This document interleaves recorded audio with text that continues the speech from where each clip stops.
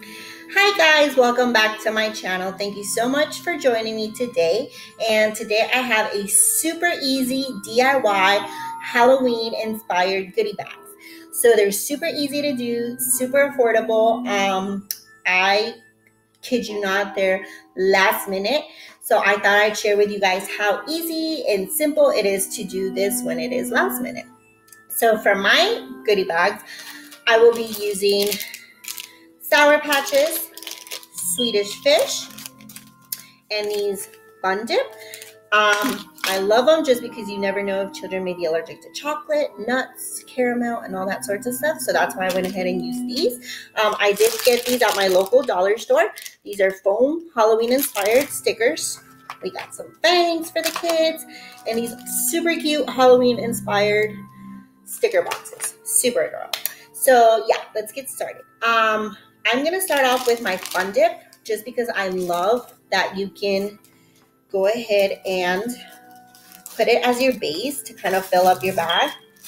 And then we're gonna put our Sour Patches and our Swedish fish. We're gonna overlap them one over the other.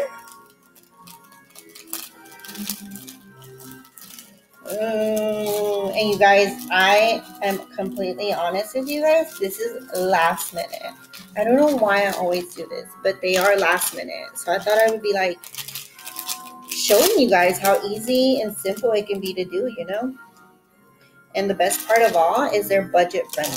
I this is for 25 students and we I spent about 20 $22.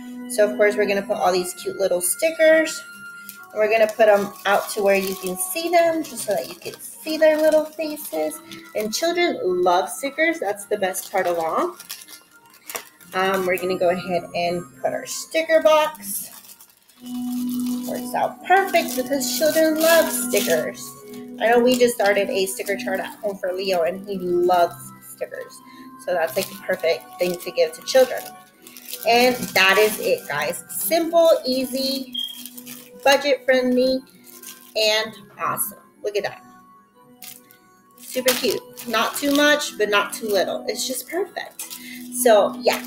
Remember to hit that subscribe button if you haven't already done so. Like, comment, share, and just suggest anything that you might want to watch or see on this channel.